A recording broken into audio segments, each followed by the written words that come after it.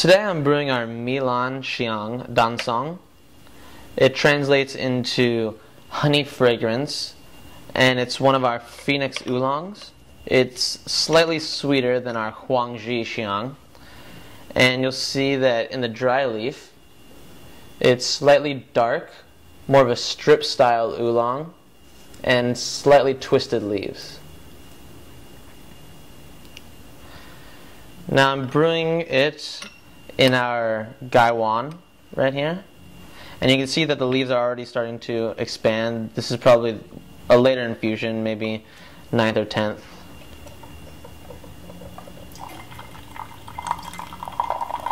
And as you brew the leaves, they become a lot lighter. So you'll see that here they're kind of dark, dark brown, even slightly blackish. And if you look at the wet leaves after they've been brewed, you can see the leaves themselves a lot better. They've really started to unravel and you see the actual leaf itself as opposed to just the twisted processed leaves. And they're a lot lighter in color as opposed to these darker leaves right here uh, of the dry leaf. It yields a slightly peachy aroma and a, a slightly golden color.